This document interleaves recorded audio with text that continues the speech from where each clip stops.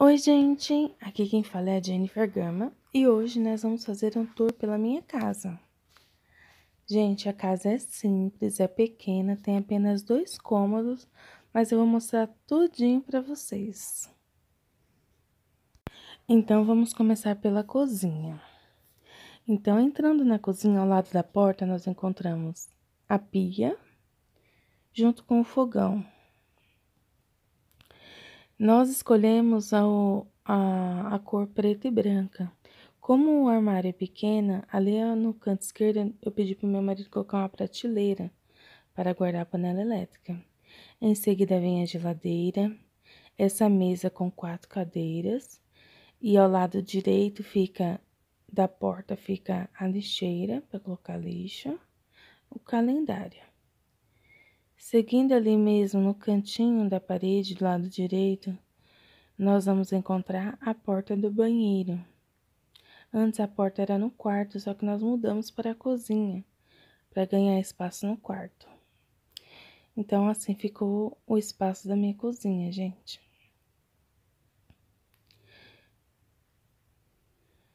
Entrando no banheiro, bem simples, e pequeno também, mas tá ótimo. Tem o chuveiro. Ali no canto a gente coloca o shampoo, o creme, a bucha, o sabonete.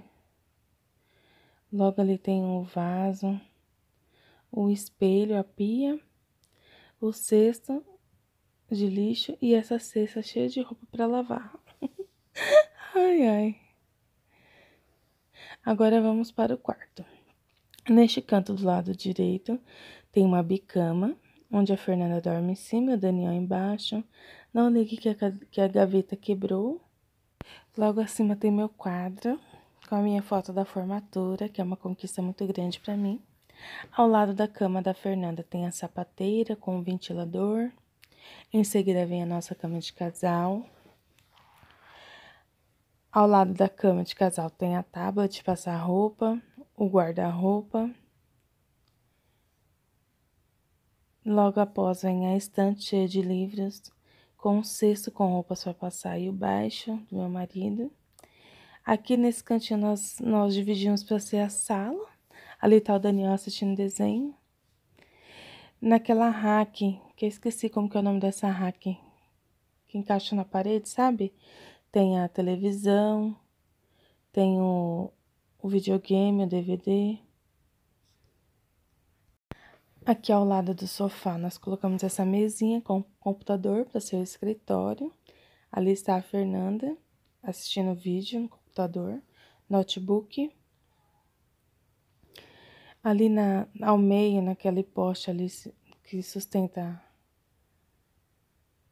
a telha, tem minha chapinha, uma pistola de cola quente e assim ficou o espaço do quarto. Então, essa é a nossa casa, bem simples e pequena. Quis mostrar para vocês, para vocês terem uma ideia. Espero que vocês tenham gostado. Um super beijo. Fiquem com Deus.